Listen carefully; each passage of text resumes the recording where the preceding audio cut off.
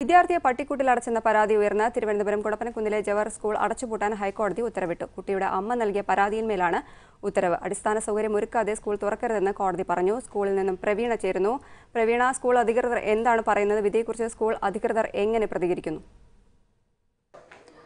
കുട്ടിയെ പട്ടിക്കൂട്ടിൽ അടച്ചു എന്ന പരാതി ഉണ്ടായതിനെ തുടർന്നാണ് സ്കൂൾ ആദ്യം പൂട്ടിയത്. ഇതേ തുടർന്ന് നാട്ടുകാരും അതുപോലെ തന്നെ രക്ഷിതാക്കളും ഒക്കെ സംഘടിക്കുന്ന അവസ്ഥയും ഉണ്ടായിരുന്നു. പലവട്ടം ഇവിടെ വിദ്യാഭ്യാസ വകുപ്പിന്റെയും ജില്ലാ ഭരണകൂടത്തിന്റെയും അടക്കമുള്ള പരിശോധനകൾ നടത്തിയ ശേഷം സ്കൂൾ അടച്ചുപൂട്ടി. അന്ന് മുതൽ വിദ്യാർത്ഥികളുടെ പഠനം ഏതാണ്ട് തുലാസിലായ അവസ്ഥയിൽ തന്നെയായിരുന്നു. പക്ഷേ ഭൂരിഭാഗം വരുന്ന വിദ്യാർത്ഥികളുടെയും രക്ഷിതാക്കൾ സംഘടിക്കുകയും ഇതേ സ്കൂളിൽ തന്നെ തുടർപഠനം വേണമെന്ന് ആവശ്യപ്പെടുകയും ചെയ്തതിന്റെ അടിസ്ഥാനത്തിൽ പലവിധ കമ്മിറ്റികൾ ചേർന്ന ശേഷം സ്കൂൾ തുറക്കാൻ ഉള്ള ഒരു നീക്കത്തിലേക്ക് കടന്നു. എന്നാൽ ആ സമയം പൊതുവിദ്യാഭ്യാസ ഡയറക്ടർ നൽകിയ റിപ്പോർട്ട് അടിസ്ഥാന സൗകര്യങ്ങളില്ലാതെ സ്കൂൾ തുറക്കാനാകില്ല എന്നുള്ളതായിരുന്നു.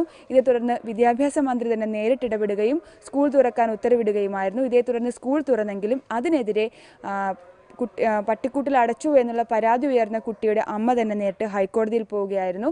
അടിസ്ഥാന സൗകര്യങ്ങളില്ലാതെ സ്കൂൾ തുറക്കാൻ അനുവദിക്കരുതെന്നായിരുന്നു ഹർജിയിലെ ആവശ്യം. ആ ഹർജി അംഗീകരിച്ച കോടതി വീണ്ടും സ്കൂൾ പൂട്ടാൻ ആവശ്യപ്പെടുകയായിരുന്നു. തുടർന്ന് വീണ്ടും വിശദമായ വാദം കേൾക്കലിനിടെയാണ് അടിസ്ഥാന സൗകര്യങ്ങളില്ലാതെ സ്കൂൾ തുറക്കേണ്ടതില്ല എന്ന് ഹൈക്കോടതി ഉത്തരവ് പുറപ്പെടുവിച്ചത്. ഇതോടുകൂടി തുലാസിലായത് വിദ്യാർത്ഥികളുടെ ഭാവിയാണ്. കാരണം ഇനി ഈ ഇവിടെയുള്ള നൂറ്റി ഇരുപതിലധികം വരുന്ന ഇതേ സ്കൂളിൽ തന്നെ തുടർന്ന് പഠിക്കണമെന്ന് ആഗ്രഹിച്ച കുട്ടികളുടെ പഠനം എങ്ങനെയാണ് എന്നുള്ള കാര്യത്തിൽ ഇപ്പോഴും അനിശ്ചിതാവസ്ഥയാണ്. ഇപ്പോൾ രണ്ട് വീടുകളിലായിട്ടാണ് കുട്ടികളെ പഠിപ്പിക്കുന്നത്. ഇനി എന്ത് ചെയ്യണം എന്നുള്ള കാര്യത്തിൽ വ്യക്തതയുമില്ല. കോടതി വിധി ആയതുകൊണ്ട് തന്നെ സർക്കാരിന് സർക്കാരിന്റെ ഭാഗം പറയാൻ മാത്രമേ കഴിഞ്ഞിട്ടുള്ളൂ. ആ ആ ഭാഗത്തിൽ പോലും സ്കൂൾ തുറക്കണം എന്നുള്ള അഭിപ്രായമായിരുന്നു സർക്കാർ ഹൈക്കോടതിയെ അറിയിച്ചത്. എന്നാൽ അടിസ്ഥാന സൗകര്യങ്ങളില്ലാതെ തുറക്കാൻ കഴിയില്ല. ഡി പി എയുടെ നിർദ്ദേശത്തെ സർക്കാർ മറികടന്നതിനെയും ഹൈക്കോടതി വിമർശിച്ചിരുന്നു. അതുകൊണ്ട് തന്നെ അടിസ്ഥാന സൗകര്യങ്ങൾ ഒരിക്കൽ മാത്രമേ ഈ സ്കൂൾ തുറക്കാനാകൂ. നിലവിൽ സ്കൂൾ മാനേജ്മെന്റ് ചോദിക്കുന്ന മറു ചോദ്യം അപ്പോൾ ഇവിടെ പഠിക്കണമെന്ന് ആഗ്രഹിച്ച അല്ലെങ്കിൽ ഇപ്പോഴും ഇവിടെ പഠിച്ചുകൊണ്ടിരിക്കുന്ന കുട്ടികളുടെ ഭാവി എങ്ങനെ എന്നുള്ളതാണ്. അവരെ എവിടെ പരീക്ഷയ്ക്കിരുത്തും അവരെ എങ്ങനെ തുടർന്ന് പഠിപ്പിക്കും തുടർന്ന ചോദ്യങ്ങളും ഉയർത്തുന്നുണ്ട്.